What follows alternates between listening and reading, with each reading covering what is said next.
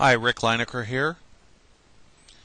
Today I'm going to be talking to you about the Forensic Toolkit, which is part of the free tools that Foundstone makes available. To start with, I'm going to go to foundstone.com. And you'll see a link here that says Free Tools and Resources.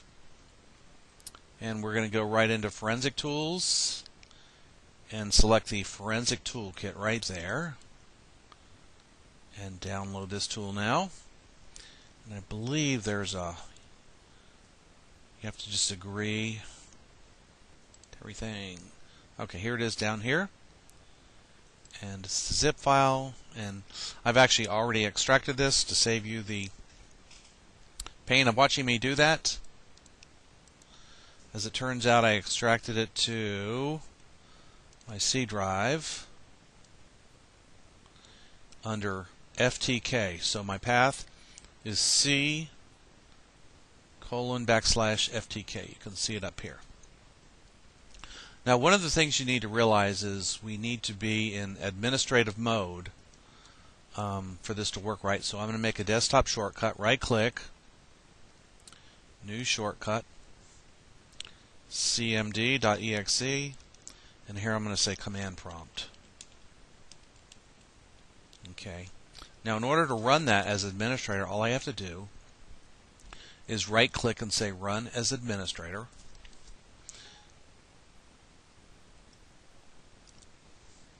And here I'm going to set my font larger so you have an easier time seeing it.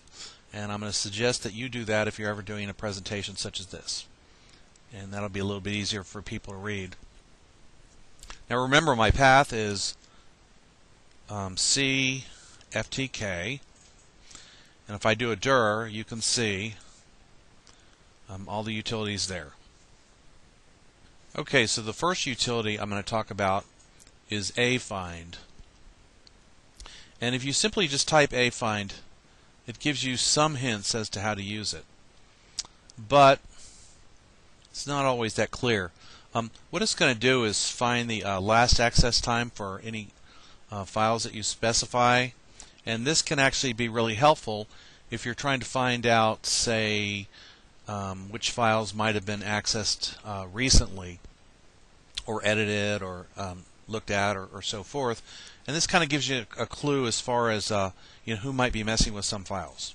Okay, so I say afind, and if I don't put a directory, it will just use the current directory.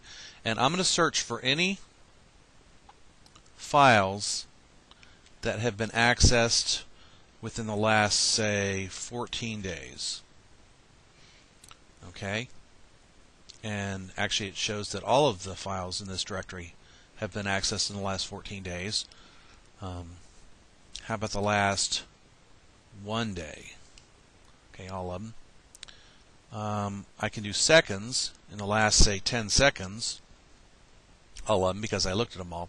But if you if you let it sit for a while, Let's try the last second. None of them. Okay, or none of them in the last 10 seconds, I guess. But uh, this gives you a way to, to just find out uh, which files have been accessed uh, recently.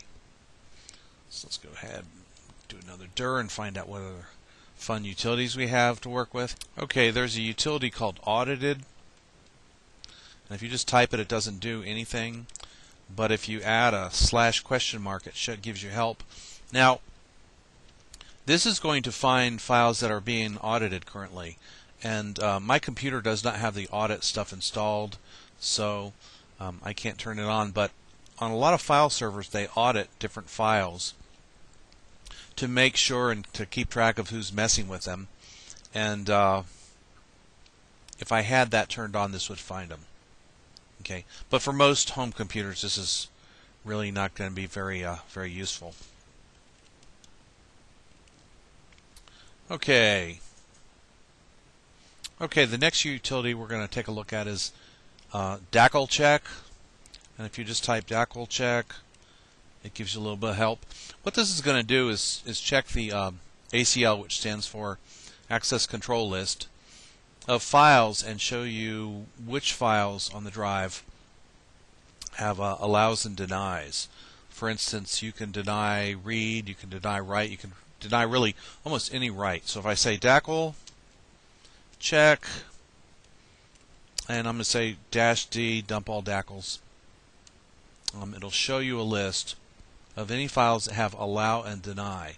Now, most files don't typically have allow and deny, but you can see that some of these are actually set in this directory, which I have done previously. So the value of this utility is you can find out which files have had their um, access control has changed. Okay, if you just want to see the statistics uh, for a single file, you can use this filestat utility. And when you first type it, it gives you help. So I'm going to give it a file name now, afind.exe, and it gives me a pretty verbose um, idea of what's going on, file size, all of my creation and modification and access times, um, all of the security attributes of this file and so forth. It's actually pretty uh, complete. Okay, so I hit a file, um, and I'm going to use this hfind utility to see if I can find it. Ah, there it is. So hfind is going to show you uh, files that might be hidden. You can get help if you just type slash question.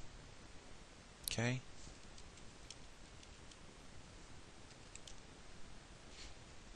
You'll see a utility called Hunt, and that actually is going to look at um, shares on a server. See, I have a file server here, but you'll see it returns an error, and it's just because this particular network does not um, support that.